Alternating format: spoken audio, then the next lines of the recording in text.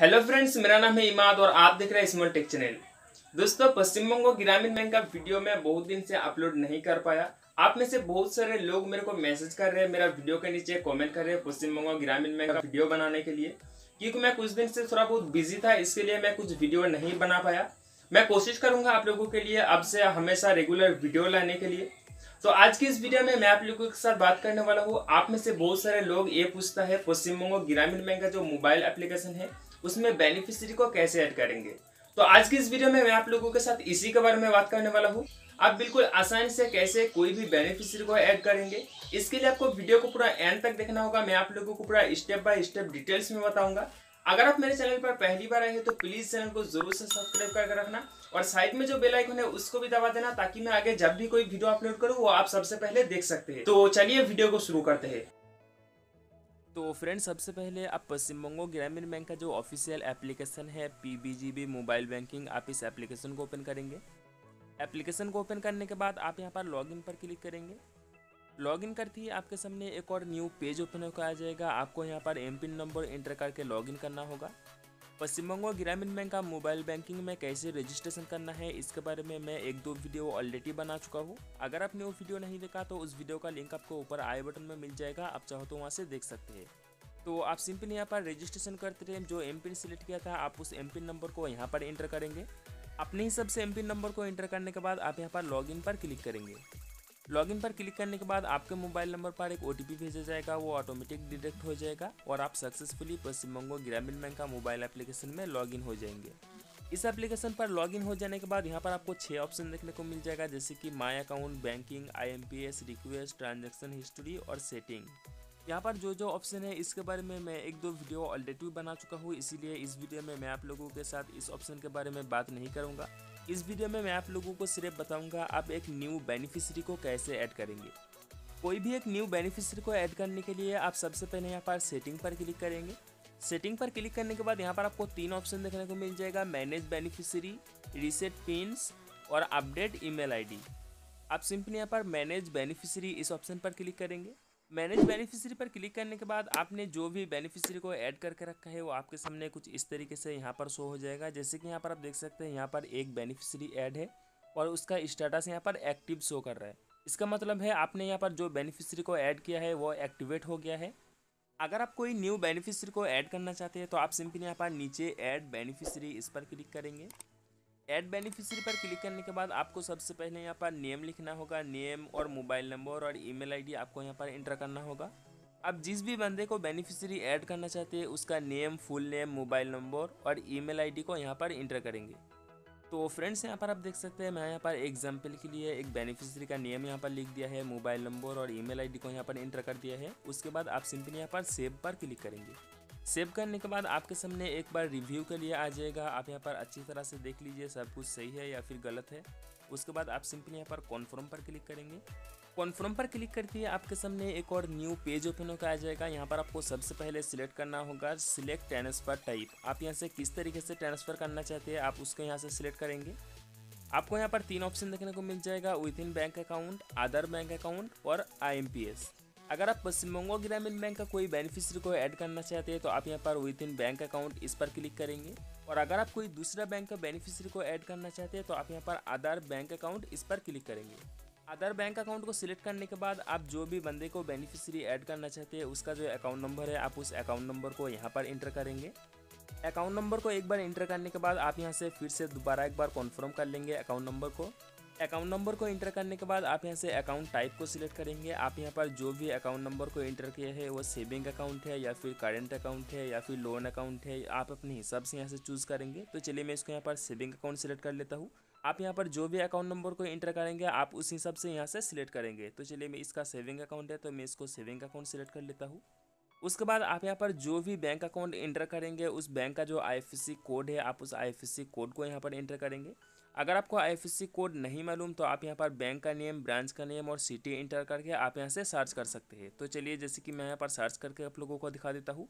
सबसे पहले आप यहाँ पर बैंक का नेम लिखेंगे। आप कौन सा बैंक का बेनिफिशियरी ऐड करना चाहते हैं? तो जैसे कि मैं स्टेट बैंक ऑफ़ इंडिया का बेनिफिशियरी ऐड करना चाहता हूँ तो सबसे पहले आप यहाँ पर स्टेट बैंक ऑफ़ इंडिया लिख देंगे। बैंक का नेम लिखने के बाद आप यहाँ पर ब्रांच का नेम लिख देंगे। कौन सा ब्रांच में अकाउंट है? तो चलिए, मैं ब्रांच का नेम यहाँ पर लिख देता हूँ। उसके बाद आप यहाँ पर सिटी को एंटर कर देंगे। कौन सा सिटी का बैंक है, आप उस सिटी का नेम यहाँ पर एंटर करेंगे। उसके बाद आप यहाँ पर सिंपली सर्च पर क्लिक करेंगे। सर्च पर क्लिक करके आपके सामने एक और न्यू पेज ओपन होकर आ जाएगा, कुछ इस तरीके से। यहाँ पर आप देख सकते हैं, आप जो भी बैंक का आई कोड को सर्च करेंगे, वो आपके सामने कुछ इस तरीके से यहाँ पर शो हो जाएगा। आप इस बॉक्स पर टिक करेंगे, उसके बाद यहाँ से डन पर क्लिक करेंगे। डन करते हैं यहाँ पर आप देख सकते हैं, यहाँ पर आई कोड यहाँ पर आ गया है। उसके बाद आप सिंपली यहाँ पर सेव पर क्लिक करेंगे। सेव पर क्लिक करने के बाद आपके सामने एक बार रिव्यू के लिए आ जाएगा। यहाँ पर आप देख सकते हैं सिलेक्ट ट्रांसफ़र टाइप यहाँ पर आप देख सकते हैं आधार बैंक अकाउंट आप इस तरीके से ट्रांसफ़र कर सकते हैं N E F T R T G S I M P S और पी टू ए आप इस चारों तरीके से ट्रांसफ़र कर सकते हैं। उसके बाद अकाउंट नंबर अकाउंट टाइप और आई एफ़ सी कोड आपके सामने दिख जाएगा। आप सिंपली यहाँ पर कॉन्फर्म पर क्लिक करेंगे। कॉन्फर्म पर क्लिक करके आप जो भी बेनिफिशरी को ऐड करेंगे, उस बेनिफिशरी का नेम आपके सामने कुछ इस तरीके से यहाँ पर शो हो जाएगा। यहाँ पर आप देख सकते हैं, इस बेनिफिशरी को मैं अभी अभी ऐड किया है, इसलिए यहाँ पर पेंडिंग शो कर रहे हैं। और ऊपर में जो बेनिफिशरी है, यहाँ पर आप देख सकते हैं, इसको मैं दो दिन पहले ऐड किया था, इसीलिए यहाँ पर ये एक्टिव बता रहा है। इसी तरीके से आप जो भी बेनिफिशरी को ऐड करेंगे, उस बेनिफिशरी को एक्टिव होने में आपको 24 फोर हावर्स तक वेट करना होगा। 24 फोर हावर्स के बाद आपको यहाँ पर ये एक्टिव शो हो जाएगा। इसी तरीके से अगर आप कोई दूसरा बेनिफिशरी को ऐड करना चाहते हैं तो आप सिंपली यहाँ पर ऐड बेनिफिशरी इस पर क्लिक करेंगे। ऐड बेनिफिशरी पर क्लिक करने के बाद सबसे पहले nickname full name mobile number और ईमेल आईडी को एंटर करके आप यहाँ पर सेव पर क्लिक करके आप सेम प्रोसेस में कोई भी बेनिफिशरी को ऐड कर सकते हैं। और अगर आप कोई भी बेनिफिशरी को यहाँ से डिलीट करना चाहते हैं तो आप सिंपली यहाँ पर इस डिलीट वाला आइकन पर क्लिक करेंगे। डिलीट वाला आइकन पर क्लिक करने के बाद आप इसको येस कर देंगे तो यहाँ से बेनिफिशरी डिलीट हो जाएगा। बेनिफिशरी को सक्सेसफुली ऐड करने के बाद आपको 24 फोर आवर्स तक वेट करना होगा, उसके बाद आपका बेनिफिशरी एक्टिवेट कर दिया जाएगा। बेनिफिशरी को एक्टिवेट करने के बाद चलिए मैं आप लोगों को दिखा देता हूँ आप मनी ट्रांसफ़र कैसे करेंगे। बेनिफिशरी सक्सेसफुली एक्टिवेट हो जाने के बाद अगर आप उसको मनी ट्रांसफ़र करना चाहते हैं तो आप सिंपली यहाँ पर आईएमपीएस पर क्लिक करेंगे। आईएमपीएस पर क्लिक करने के बाद यहाँ पर आपको दो ऑप्शन देखने को मिल जाएगा P to A quick payment और ट्रांसफ़र टू अकाउंट आप सिंपली यहाँ पर ट्रांसफ़र टू अकाउंट इस पर क्लिक करेंगे।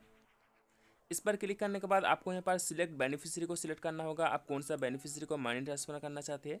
तो जैसे कि आप लोगों को मालूम होगा, मेरा अकाउंट में सिर्फ़ एक ही बेनिफिशियरी ऐड है तो इसलिए यहाँ पर एक सौ कर है। आप सिंपली अपने हिसाब से बेनिफिशियरी को सिलेक्ट करेंगे, आप कौन सा बेनिफिशियरी को मनी ट्रांसफ़र करना चाहते हैं। तो चलिए मैं यहाँ पर एग्ज़ाम्पल के लिए इसको सिलेक्ट कर लेता हूँ। अपने हिसाब से बेनिफिशियरी को सिलेक्ट करने के बाद बेनिफिशियरी का जो अकाउंट नंबर है, वो आपके सामने शो हो जाएगा आई कोड यहाँ पर शो हो जाएगा। आपको यहाँ पर सिंपली अमाउंट को एंटर करना होगा, आप कितना रुपये सेंड करना चाहते तो चलिए मैं यहाँ पर एग्ज़ाम्पल के लिए सौ रुपये कर लेता हूँ। उसके बाद आपको यहाँ पर रिमार्क पर कुछ भी लिखना है, आप यहाँ पर कुछ भी लिख सकते हैं। तो चलिए मैं यहाँ पर एग्ज़ाम्पल के लिए पे लिख देता हूँ। सब कुछ अपने हिसाब से फिल करने के बाद आप यहाँ पर ट्रांसफ़र पर क्लिक करेंगे। ट्रांसफ़र पर क्लिक करने के बाद आपके सामने एक बार रिव्यू के लिए आ जाएगा, आप इसको अच्छे से देख लीजिए। उसके बाद आप जो भी टी पिन को सिलेक्ट किया था, आप उस टी पिन नंबर को यहाँ पर इंटर करेंगे ट्रांसफ़र करने के लिए। अपने हिसाब से टी पिन नंबर को इंटर करने के बाद आप यहाँ पर कॉन्फर्म पर क्लिक करेंगे। कन्फर्म पर क्लिक करने के बाद यहाँ पर आपको कुछ देर वेट करना होगा। यहाँ पर आप देख सकते हैं, यहाँ पर अभी प्रोसेसिंग हो रहा है। कुछ देर वेट करते हैं यहाँ पर आप देख सकते हैं, मेरा अकाउंट से सक्सेसफुली हंड्रेड रुपीज़ ट्रांसफ़र हो गया है। यहाँ पर आप देख सकते हैं, उसका रेफरेंस नंबर आपको यहाँ पर दिख जाएगा। इसी तरीके से अगर आप कोई दूसरा बेनिफिशियरी को मनी ट्रांसफ़र करना चाहते हैं तो आप यहाँ पर आधार ट्रांसफ़र इस पर क्लिक करेंगे। इस पर क्लिक करने के बाद यहाँ से आप अपने हिसाब से बेनिफिशियरी को सिलेक्ट करेंगे। आप कौन सा बेनिफिशियरी को सेंड करना चाहते हैं? इसी तरीके से आप यहाँ से किसी को भी मनी ट्रांसफ़र कर सकते हैं। तो बस दोस्तों, इस वीडियो में इतना ही। आई होप आपको वीडियो पसंद आया। तो चलिए हम इस वीडियो को यहीं पर एंड करते हैं। आई होप दोस्तों वीडियो देखकर आप समझ गए होंगे, आप बिल्कुल आसानी से कैसे पश्चिम बंगो ग्रामीण बैंक का मोबाइल एप्लीकेशन में कोई भी बेनिफिशियर को ऐड करेंगे। अगर आपको वीडियो अच्छा लगा तो लाइक करना और अपने फैमिली के साथ शेयर करना। और अभी भी अगर आपके मन में कोई कंफ्यूजन है तो आप नीचे कमेंट करके पूछ सकते हैं। इसी तरह से और भी नया नया वीडियो को देखने के लिए चैनल को सब्सक्राइब करना ना भूले। मिलता हूँ आपसे अगले ऐसी किसी वीडियो में, तब तक के लिए take care